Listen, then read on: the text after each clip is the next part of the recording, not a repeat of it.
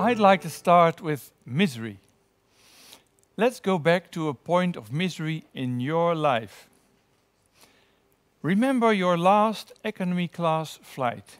You were sitting in that airplane, shoulder to shoulder, cramped, no knee space.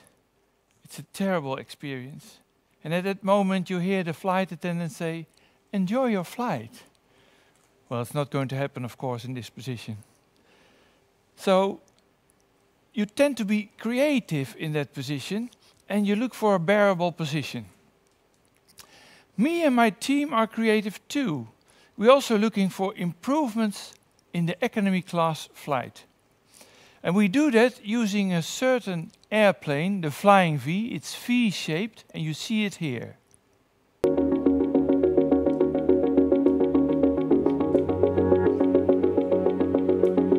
So here you see the Flying V.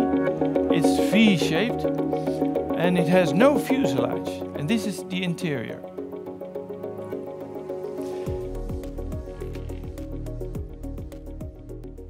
This Flying V uses 20% less fuel just by its form.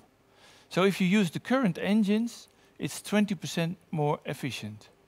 But we also study to make it more fuel efficient, because then you are more comfortable about your flight.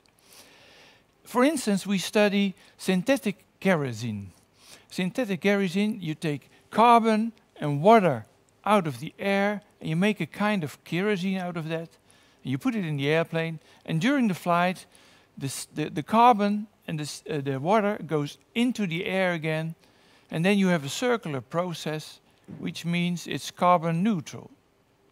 And this airplane is uh, interesting uh, because if you have 20% less fuel and also uh, carbon neutral, you, yeah, you have a very uh, efficient flight.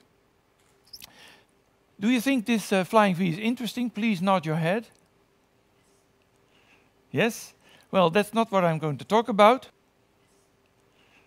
I'm going to talk about your future flight. Who wants the current flight to be improved? So you sit cramped in a terrible situation, and uh, even in a prison cell is better. Who wants it to be improved? Yeah, I saw everyone raise his hand. All people, yes, of course, you want to improve it. And me and my team work on that to make it better for you. Uh, but uh, we're going to rehearse your future flight. I promised to talk about your future flight. So we're going to uh, uh go 20 years ahead. So you're in uh, 20 years further now, and you're, you're going to book your flight. You take your smartphone, which will probably not be a smartphone by then, but you take your smartphone and you want to fly from Los Angeles to Amstelveen. Some people might know that in Amstelveen there's no airport, but never mind. We are going to book that flight. So you go from from Los Angeles airport to Amsterdam airport. And then you first book a seat for the first four hours, and then you book the bed, and then you book the seat for the last part of the flight. And then you have to book from Amsterdam airport to Amstelveen, your travel, and you do that by uh, booking uh, the autonomous electric driving car that bring, picks you up at the airport and brings you home. So now you, you've booked your flight, you're a bit early in a flight for over 20 years, but never mind. And now we are 20 years ahead. You're in your hotel room at Los Angeles. And you're in that hotel room, and uh, there's someone knocking at your door. And you open the door, and there's someone picking up your large suitcase. And the suitcase is brought to your home. That's an extra service, brought to your home address. No worry an anymore about how to carry the suitcase through your tra travel. At your hotel again, you hear knock knock, and there's your friend picking you up. You go with the car of your friend, you go into the car, and then he brings you to the airport. And at the airport, you get out of the car, you travel smoothly through the airport.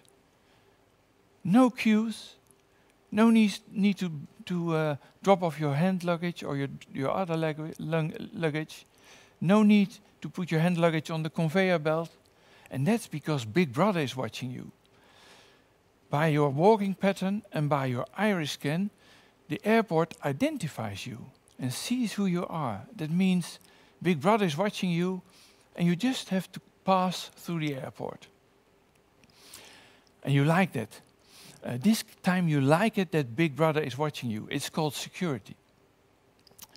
And uh, you can have a cup of coffee, of course, at the airport, but that at a certain point, you're boarding the airplane. You go through the jetway, you get into the airplane, and in the airplane you get the message where your hand luggage should be stowed. Oh, you see a light there, that's where your hand luggage has to be put in the bin. And then it turns to green, and then you know, okay, this is the right position.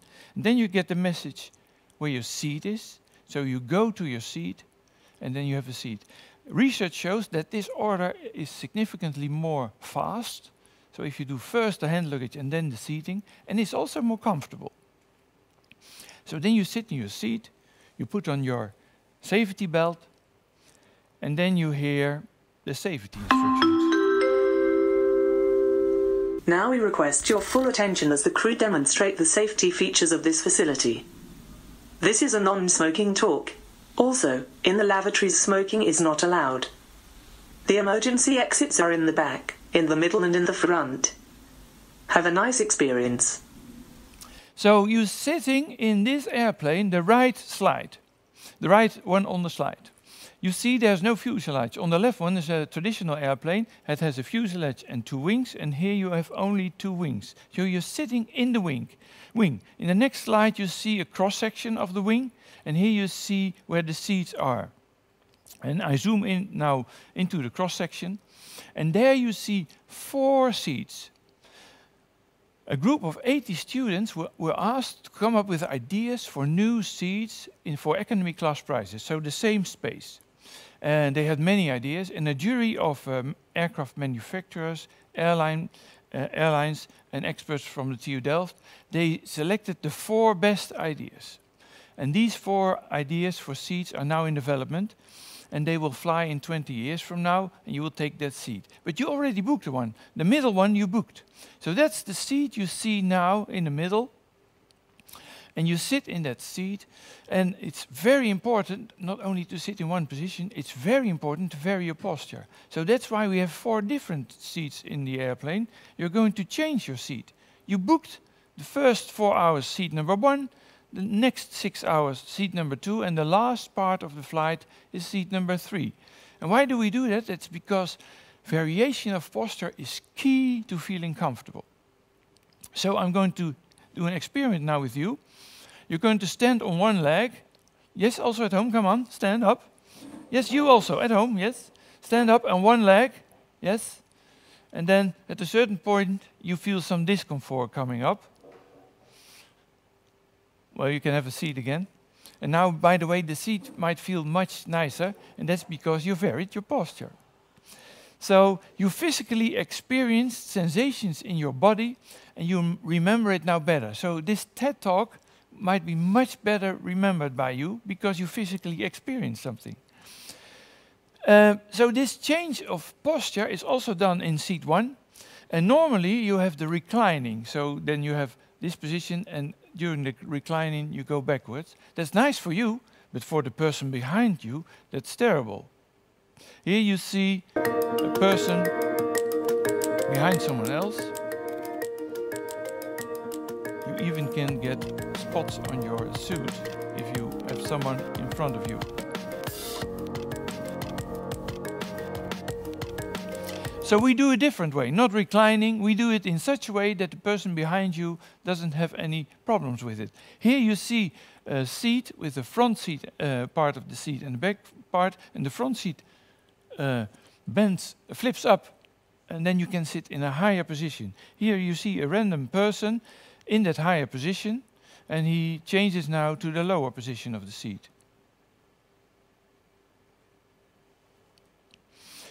So I, I promise you, uh, you're in this flight. I promise you to experience this flight. So you are sitting in seat number one and you can have different positions. But after four hours, you get the message to go to seat number two. That's the bed. And then you go to your bed. You get a clean sheet and a clean cushion, and then uh, you can change with the one who slept before there. And from the bed, you have this view. You can still look out of the window. And then you're in that bed, and the light, you can dim the light, and you can turn on the sound cancellation. So you, it's really quiet and dark, and you have, can have a good sleep. You can even hear the sounds you hear at home when you sleep. That means you really are feeling relaxed. Some people don't like to sleep, and also in that possibility, we did research what is the best position to watch a movie or work with your mobile phone, and then you can take this position. The beds are three on top of each other, and they take the same space as three seats next to each other, so they are still there for economy class prices. After sleeping in the bed, after six hours, you hear uh, a sound, your favorite music comes up.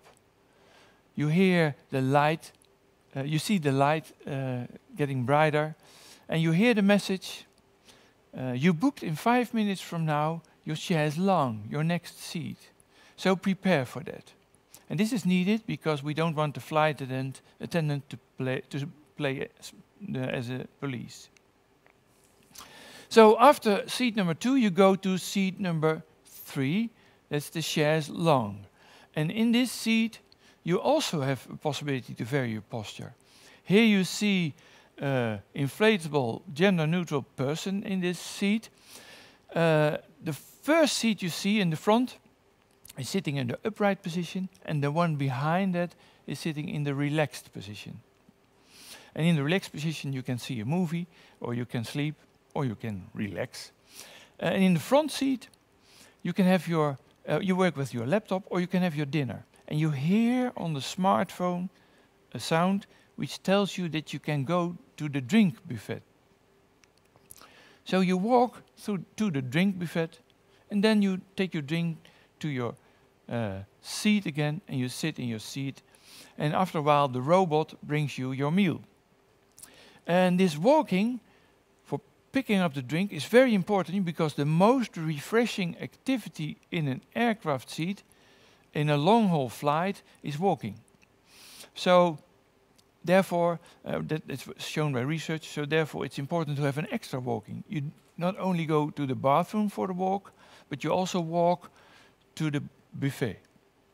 After, drink, after the dinner, you get again a message, and not everyone gets it at the same time. No, uh, everyone get at different times uh, the message because otherwise it would be too much people in front of the drink buffet. Also, from this seat, you see another seat, and that's the group seat. And that's the fourth seat which is developed. Here people can sit together and play cards or uh, work or have a dinner together. 28% uh, of the passengers now fly in groups. And we expect that in 20 years from now, that will probably be the same. And then you're uh, again in your chaise longue, and then the plane lands, and then you are going to deboard. You get out of the plane. You first take your hand luggage. You walk out of the plane, and then you walk uh, through the airport. You travel through the airport, and again, no queues.